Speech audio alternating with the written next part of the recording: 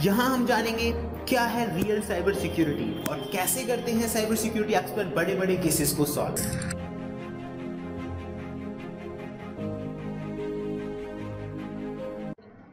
hello and welcome friends स्वागत है आप सभी का YouTube channel masters in ethical hacking में और आज मैं आपको बताने वाला हूँ मिस्टर रोबोट का सीज़न वन का सेकेंड और थर्ड एपिसोड के बारे में। तो इसमें हम जानेंगे कि कौन सी टेक्निक्स का इस्तेमाल किया गया। गाइस वास्तव में ही पूरी जो सीरीज़ है, उसमें step by step cyber security के ऐसे ऐसे कॉन्सेप्ट का इस्तेमाल किया गया है कि जो आपको सोचने पर मजबूर कर देंगे।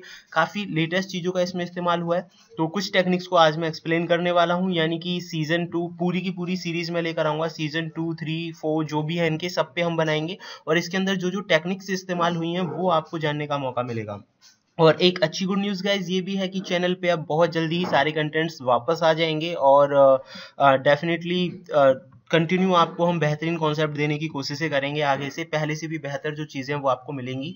तो चलिए गाइज़ शुरू करते हैं। आज की इस इंटरेस्टिंग क्लास को। Even if you are interested then you can also check our website masters in ethical hacking dot com for latest cyber security courses तो गाइज़ मैं यहाँ आपको बताना चाहूँगा कि एपिसोड टू और थ्री में क्या होता है? मैं स्टोरी एक्सप्लेन नहीं कर रहा, बस इसके अंदर यूज़ होने वाली टेक्निक्स के बारे में आपको बता रहा हूँ। तो गाइज़ जो कि मिस्टर इलियट होते हैं, उनकी एक डॉक्टर होती है, उनके बॉयफ्रेंड के बारे में वो इन्फॉर्मेशन निकालना शुरू करते हैं।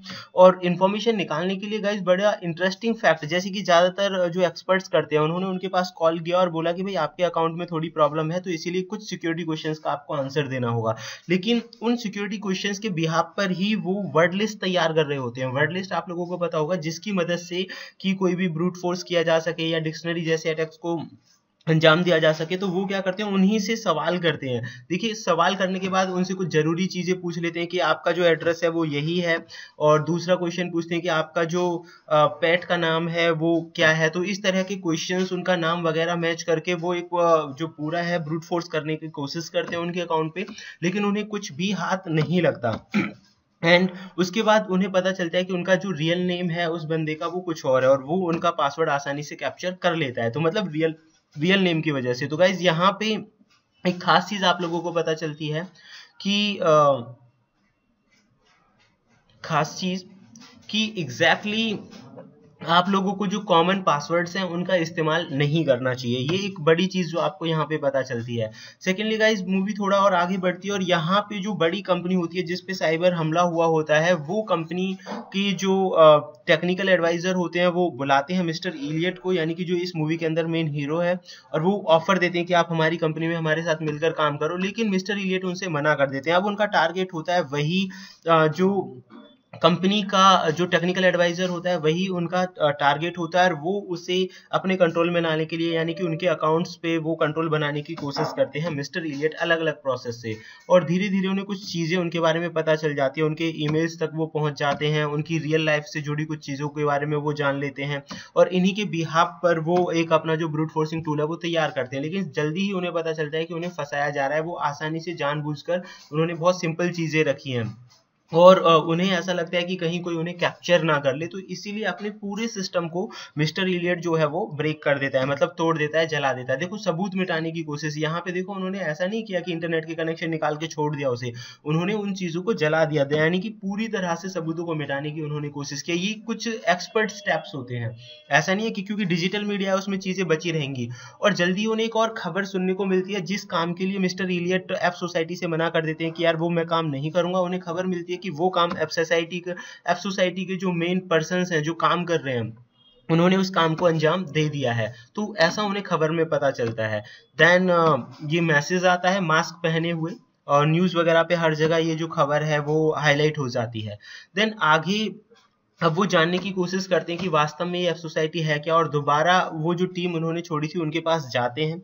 और वहाँ अगली टारगेट के बारे में उनसे डिस्कस करते हैं और अगली टारगेट के बारे में डिस्कस करने के साथ साथ यहाँ उन्हें कुछ टर्म्स भी जानने को मिलती हैं। जैसे कि आप यहाँ पढ़ सकते हैं malware coders guys malware coders क्या होते हैं? आपने सुना होगा कि मेलिसियस जो सॉफ्टवेयर है, उसे मलवेयर बोला जाता है और सॉफ्टवेयर को मेलिसियस बनाने के लिए कुछ कोड्स लिखे जाते हैं।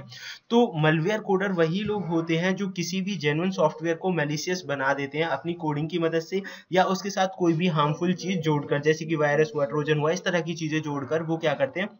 किसी भी जेनुअन चीज़ को मलवेयर बना सकते हैं। ओके गाइस तो यहाँ उनके बारे में बातचीत होती है। उसके बाद उसका टारगेट होता है लाइक ये जो मिस्टर इलियट हैं, ये कोशिश करते हैं उन, जिस व्यक्ति से ये ड्रग्स लेते हैं मतलब इन्हें एडिक्टेड ये पर्सन होता है मिस्टर इलियट तो एग्जैक्टली exactly इस तरह की भी चीज़ें इसमें दिखाई गई हैं तो जो बच्चे हैं, उनके लिए तो सुटेबल नहीं है, वो सारी चीज़ें देखें एडिक्शन वगैरह। तो उस बंदे को पकड़वाने की यहाँ पे वो कोशिश करते हैं, जिससे ये खरीदते हैं ड्रग्स वगैरह। और देखो इसका ईमेल जानकर ना मुझे बड़ा इंटरेस्टिंग सा लगा। इसने अपना जो ईमेल पे नाम रखा हुआ है वो है बिग पापी सिक्स नाइन सिक्स नाइन और इसका पासवर्ड भी बड़ा आसान सा था इसीलिए उन्होंने आसानी से आ, उसे जो है वो कैप्चर कर लिया। क्योंकि जब वो बातचीत करते हैं तो कुछ ऐसे हिंट्स हमें मिल जाते हैं कि उनका पासवर्ड क्या हो सकता है ठीक है? तो यहाँ आप देख सकते हैं कि कपल ऑफ़ आवर्स की टाइमिंग के बाद उसके ट्वीट वगैरह ये सारी चीज़ें निकाल लेते हैं। और किस तरह के उन्होंने ट्वीट कर रखे हैं किस तरह से वो बात करते हैं ये पूरा कैप्चर कर लेता है।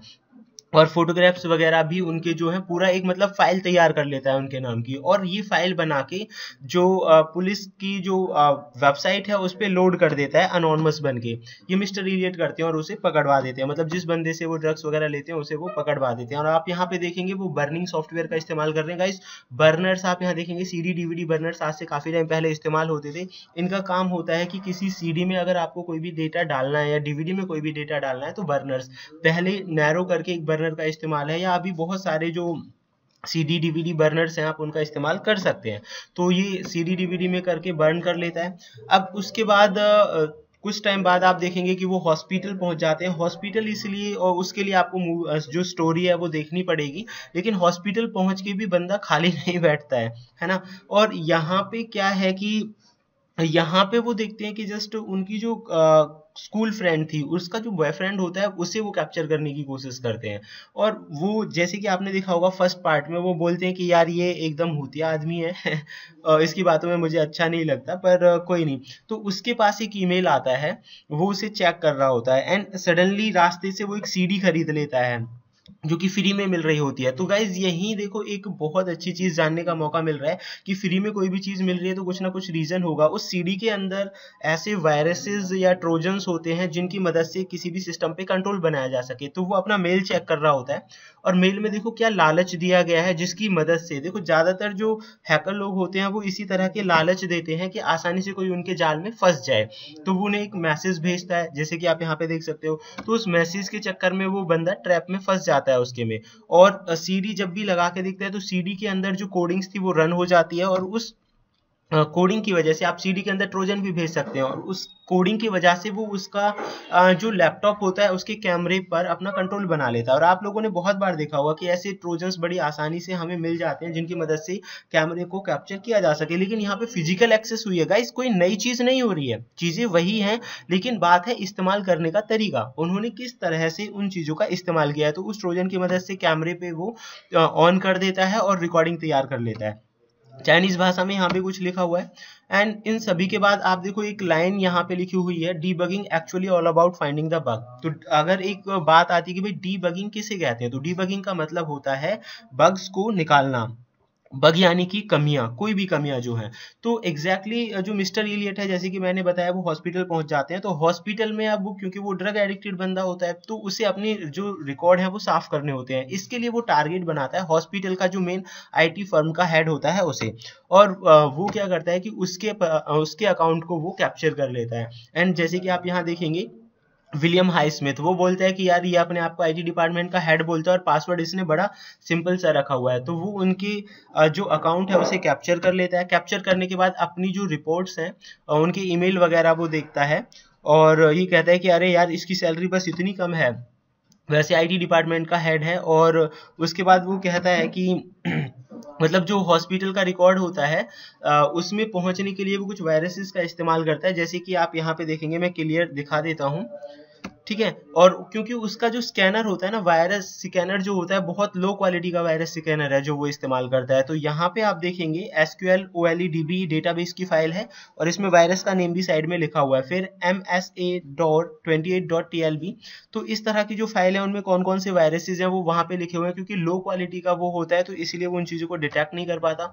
एंड इसी की मदद से वो क्या करता है मिस्टर जो एलियट है, वो अपने रिकॉर्ड को, क्योंकि उसमें ड्रग के बारे में बताया जा रहा था काफ़ी ज़्यादा जो आ रहा है तो वो उस रिकॉर्ड को मिटा के चेंज कर देता है। ये मिस्टर एलियट एल्डरसन का काम होता है यहाँ पे। एंड uh, इसी के बाद सेकंड uh, चैप्टर में आपको बताऊँगा नेक्स्ट uh, जो हमारा पार्ट आएगा उसी में। फ़िलहाल के लिए इतना ही। तब तक के लिए देखते रहेगा इस YouTube channel master seen ethical hacking thank you friends good